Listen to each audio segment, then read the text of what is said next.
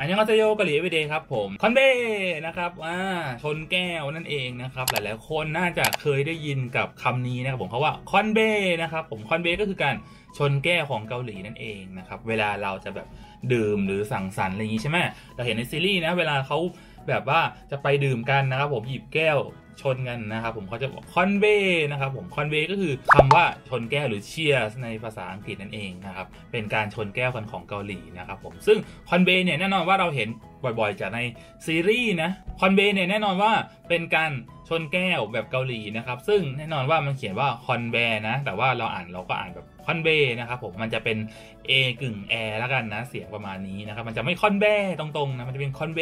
นะครับผม 건배 นะครับมันออกแนว 건배 นะนอกจาก 건배 ครับผมมีคำหนึ่งนะครับผมมีอีกคำหนึ่งที่ต้องบอกว่าความหมายเดียวกันก็คือชนแก้วนั่นแหละนะครับก็คือคาว่าจันนั่นเองนะครับผม짠 นะครับผม 짠 นะ 짠 เป็นการชนแก้วแบบใช้กับแบบเพื่อนสนิทอะไรประมาณนี้ซะมากกว่านะ ถ้าเป็นแบบกลุ่มเพื่อนๆจะชนแก้วกันนะครับผมเราจะไม่ 건배 นะครับผมเราจะ 짠 นะครับผม 짠 ก็คือการชนแก้วที่แบบว่าใช้กับเพื่อนสนิทเท่านั้นอะไรประมาณนี้นะครับหรือคนที่สนิทกันนะรุ่นรุ่นเดียวกันอะไรอย่างนี้นะครับ건배 เนี่ยมันก็อาจจะเป็นแบบทางการไปสักนิดนึงนะครับเป็นแบบใช้กับพนักงานออฟฟิศไปสังสรรค์กันหรืออะไรอย่างเงี้ยนะครับผมถ้าไม่ได้สนิทกันมากอะไรอย่างเงี้ยนะก็จะเป็น 건배 นะครับถ้าเป็น 짠 เนี่ยมันก็คือ แนวแบบเป็นเพื่อนสนิทกันซะมากกว่านะครับผมนอกจากคอนเบกับจันแล้วนะครับผมยังมีอีกคำหนึ่งนะครับผมที่อาจจะเคยได้ยินมาบ้างนะครับผมนั่นก็คือคำนี้ครับผม one shot นะครับผม one shot นะครับผม one shot ก็คือ one shot นั่นเองนะครับผม one shot ก็คือหมดแก้วนะครับผมหมดแก้วไปเลย มาจากภาษาอังกฤษ one shot นี่แหละนะครับผมภาษาเกาหลีจะอ่านเป็น one shot นะครับผม one shot นะครับผม one shot เนี่ยคือ การดื่มหมดแก้วแบบเกาหลีนะครับผมก็คือเขาบอกว่าโซจูเนี่ยเวลาเรากินเนี่ยนะครับผมเรา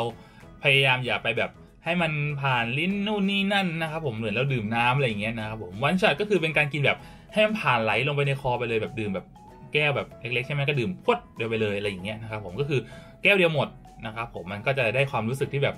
แสบคออะไรอย่างเงี้ยร้อนในคออะไรอย่างงี้นะครับผมหมดแก้วแก้วเดียวหมดไปเลยทุกคนอะไรประมาณนี้นะครับสำหรับ one shot นะครับผม one shot นะครับ นอกจากคอนเบ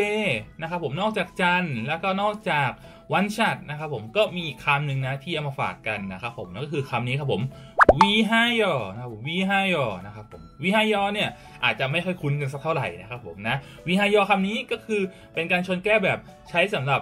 ผู้หลักผู้ใหญ่ อาจจะไม่ค่อยคุ้นกันสักเท่าไหร่นะครับผมแต่ว่าเอามาฝากกันไว้ละกันสำหรับวีห้ายอนะครับผมวีห้ายอนะครับนี่ก็คือคำศัพท์ที่เกี่ยวข้องกับการชนแก้ของเกาหลีนะครับผมแน่นอนว่าเราอาจจะคุ้นๆกันก็เป็น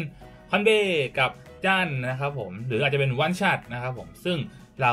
เลือกไปใช้ได้ตามสถานการณ์นะครับผมแล้วแต่สะดวกนะครับผมแต่ว่าส่วนใหญ่ก็จะเป็นคอนเบ้เนี่ยแหละนะครับที่เราได้ยินบ่อยๆได้ใช้บ่อยๆนะครับผมนะอะคลิปนี้ท่านชอบยังไงนะผมฝากกดไลค์กดแชร์ด้วยนะครับแล้วก็ YouTube Channel นะครับผมกด Subscribe ด้านล่างกดกระดิ่งไว้นะครับเวลามีคลิปใหม่ๆมันจะได้แจ้งเตือนนั่นเอง รวมถึง Facebook Fanpage นะครับผมกดไลค์เพจกด See First เช่นเคยนะครับนะอยากให้ทำคลิปอะไรนะครับผมคอมเมนต์บอกด้านล่างได้นะครับก็จะมาอ่านอย่างแน่นอนนะสำหรับคลิปนี้ไปก่อนแล้วครับผมเจอกันใหม่คลิปหน้าครับผมอันยัง